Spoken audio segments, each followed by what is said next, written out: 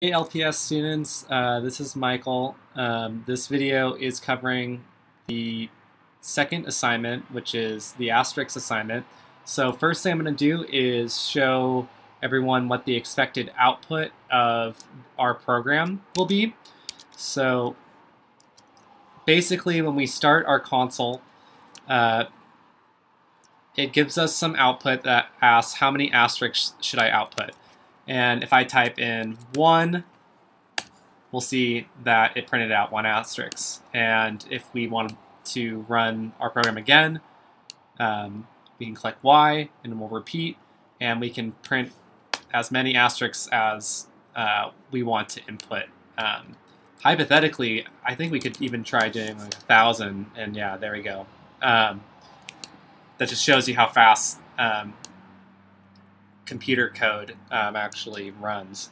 So now let's run to uh, the flowchart that I made for this assignment. Um, and I'm back. Um, so basically, we need two major features for this program to work. We're going to need to use a while loop, and we're going to need to use a for loop. Um, so starting out, let's think about what kind of variables we'd want to use in this sort of program. We know that our program needs to print out a number of asterisks, and we can specify that number. So um, first and foremost, we'll want a variable that's an integer, um, and it's going to be the number for how many numbers of asterisks we want to print out. Um, moreover, we need a variable that's going to store whether we want to run our program again.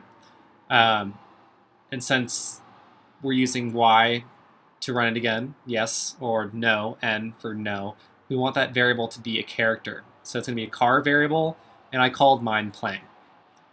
Okay, so this variable playing um, will control the flow of the entire game. So while we are playing, so while playing is equal to y, we can run everything in the program everything from sending that first output, saying how many asterisks should I output, um, to the for loop as well.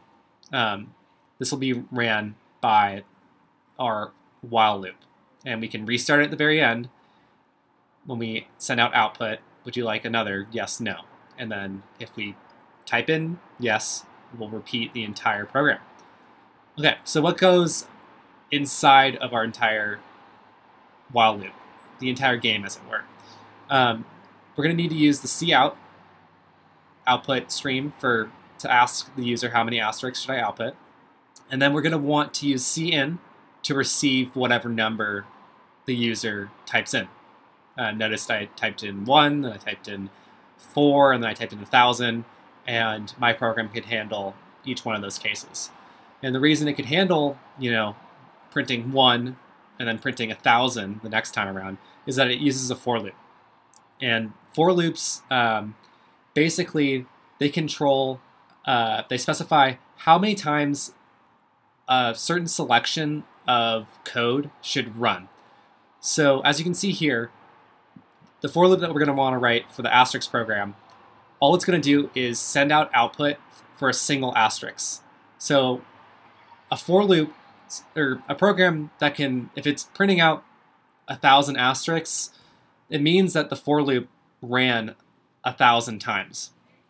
Um, and for loops, if you want to read more about them, you can click on the link over here. But I'm going to do a little ex mini explanation myself. So for loops, they're structured with three conditions. They have initial conditions, and we in programming languages you traditionally use um, a variable called you can just call it i for the initial condition. So you in, you instantiate, you create a variable, you declare it inside of the for loop, which is kind of unique because you're normally used to declaring variables at the beginning of your program. In this case, you instantiate i, you say int i equals 0, followed by a semicolon. So that is going to be the initial condition. Initially, i is going to start at 0. We could have i start at 1, or we could have i start at any arbitrary number, but normally you're always going to, to initialize the for loop variable i to be at to start zero. So the next semicolon um, over follows the test condition. So the test condition you can think of is it's going to control how many times everything underneath our for loop will run. And the what we're testing is um, basically it's going to be while i is less than the number variable. So that number variable is what we declared at the very beginning. Um, so, for example, if our user wants to um, print four asterisks, they would have typed in four, and then we stored it under number. So number now equals four. So the test condition being i, starting at zero, less than four, um, will repeat four times. And the way it, it works is uh, it will run the line of code underneath the for loop and then update the variable i. And what we're going to want to use for our update condition is to add 1 to the value of i every single time our for loop runs. So what you can see here is everything underneath the for loop, basically everything that's contained inside of the brackets, will repeat uh, until our initial variable i meets the test condition, and then the test condition is false. So for example, if we start with i equaling 0, and our test condition is i less than 4, and our update condition is i plus 1, so i is a abbreviated way of typing i equals i plus 1. So that will add 1 to the value of i every single time we run all the lines of code contained within our for loop, which in this case is just sending as output a single asterisk. So when i equals 0, we print out 1 asterisk. Then we add 1 to the value of i. So now i equals 1. Then we print out another asterisk. So now in total we have 2 asterisks and we add another value, another value to 1. So now i equals 2. Now we print out a third asterisk. And then we increment i, so now i equals 3. Now we print out our fourth asterisk.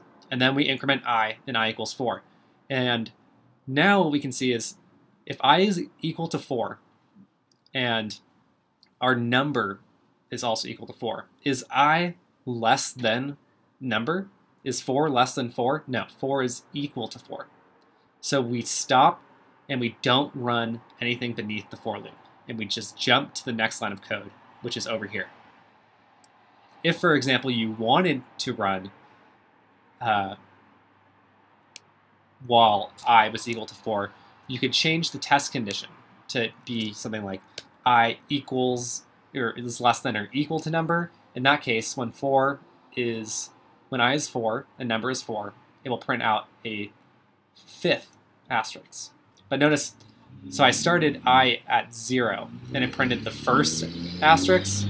So when i equals 3, it prints 4 total. So that, that can be a little bit confusing, but in computer science, um, it, you normally start counting at 0.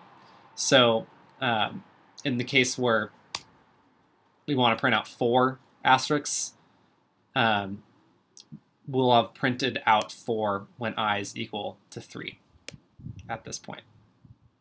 Okay, so that's for loops in a nutshell.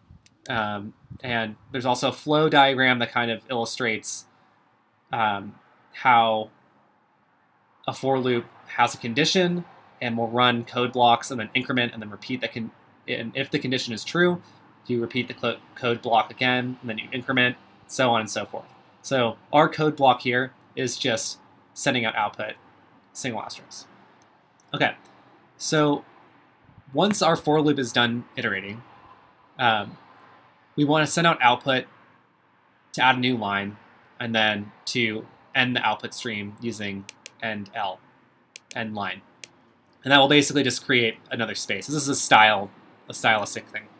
Um, finally, we also need to send out uh, output to ask the user if they want to play again, and they will enter a Y or an N, and we can assign using the C input stream to our playing variable. So if they didn't want to play again, they'll hit N. Playing is now assigned to the input. And if playing is equal to N, we this while loop that is running everything in our program is no longer true, and our main function returns zero, and the program is over. So that's basically um, asterisks in a nutshell. Uh, again, uh, you have two kind of advanced topics based on chapter two. Uh, I mean, while loops are covered in chapter four, and I think for loops are either in chapter five or chapter six. Um, so this can be difficult, and just respond if you have any questions, um, and I can make a follow-up video. Anyway, thank you for watching, and good luck.